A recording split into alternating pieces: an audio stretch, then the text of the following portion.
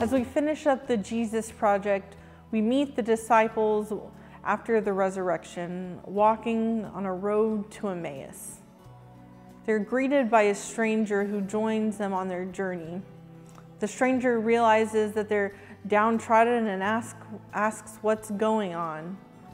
They reply, Have you not heard? This man named Jesus, this one we followed, has died. He's been killed. He was our only hope. And the stranger and the disciples go back and forth for a while until it's time to stop for the day.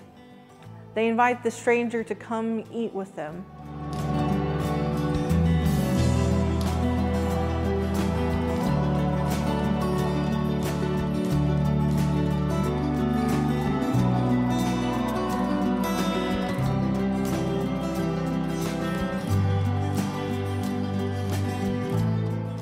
When the stranger takes the bread and breaks it, they recognize the stranger is Jesus. And he disappears from them. As we wrap up the Jesus Project, we ask the questions what does it mean to walk with Jesus? What does it mean to be in the presence of God?